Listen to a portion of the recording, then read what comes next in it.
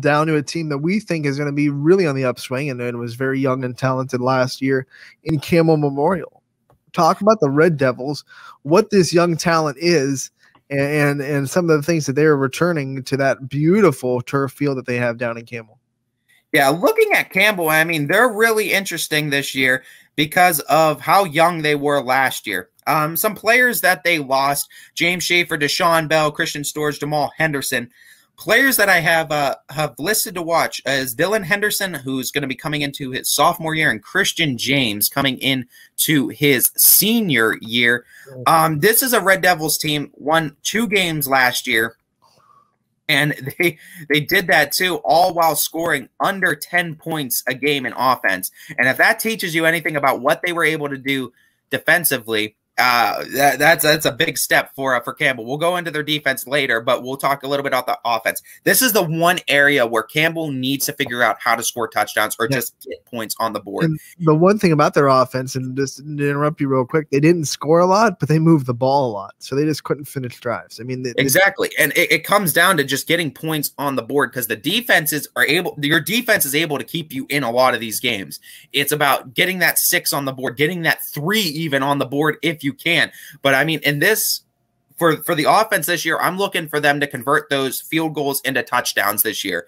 Uh, have a little bit more of those drives that end uh, with a punt and in a field goal. Try to get that next step and make sure you're uh, uh, ending up with points on the board uh, any way that you can. There's some guys to look out for, though, that are going to be uh, interesting. Brian Robinson is a sophomore quarterback. He's going to be competing for quarterback. Uh, looks like he might have a, a, good shot at it as well with Christian Storrs no longer there.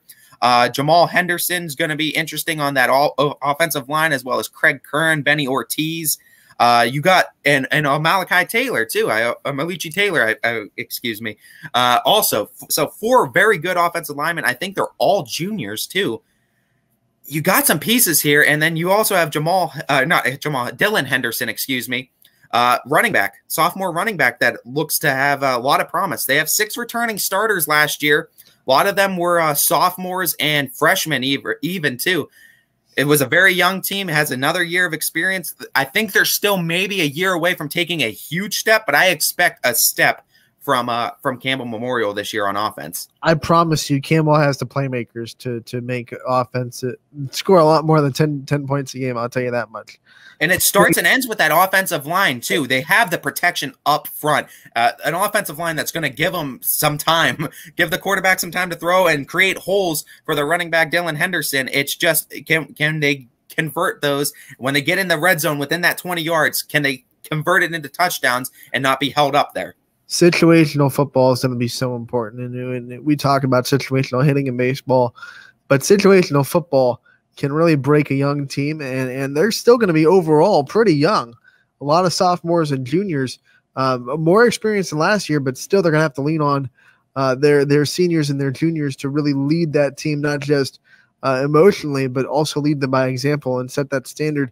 So the playmakers that are returning sophomores or the incoming freshmen can really step up and, and understand what it takes to to succeed.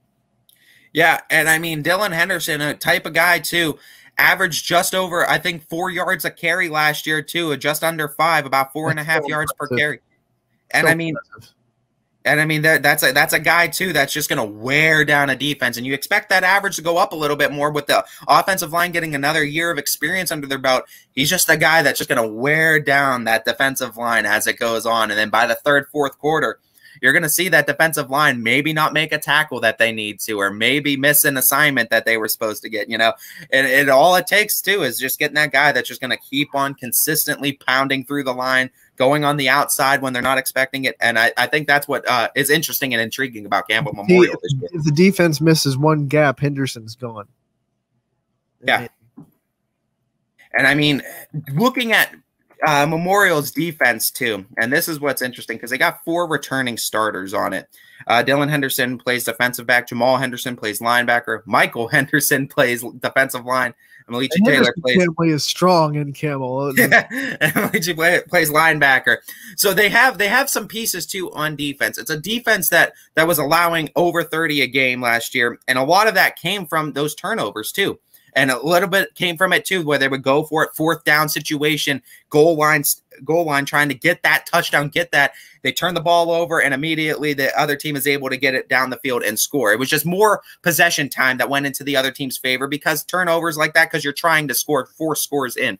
Um, but this is still a defense in Campbell Memorial that can compete with some of the best of them and create turnovers too. We talked about it defensive back wise. They have some good linebackers in Jamal Henderson and Malichi Taylor, Michael Henderson up front, Dylan Henderson in the defensive backfield in the secondary.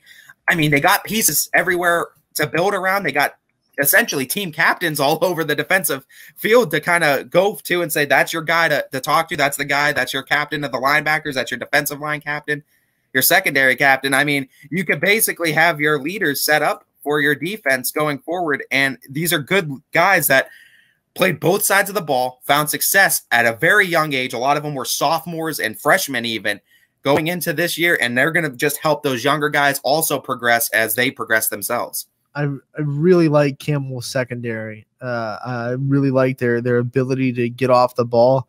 Uh, they don't get beat one on one too often. They're so athletic, and once again, like a lot of the other positions in Campbell, one year of experience equals learning more and more. I really like their secondary. I don't think it's going to be really easy to air it out against the Red Devils.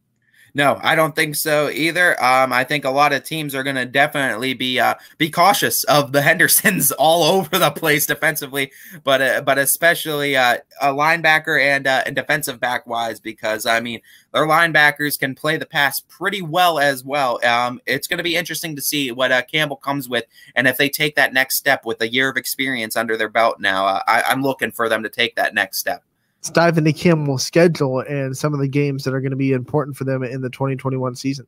Going through Campbell's schedule, starting off August 20th, they're home versus Valley Christian. 27th, they're at Lowellville. Starting at September 3rd, they're home versus East Palestine. September 10th at Crestview. 17th at Brookfield. 24th, home versus Liberty. October 1st, home versus Garrettsville Garfield. 8th at Champion. 15th, home versus Newton Falls. And 22nd at LaBrae.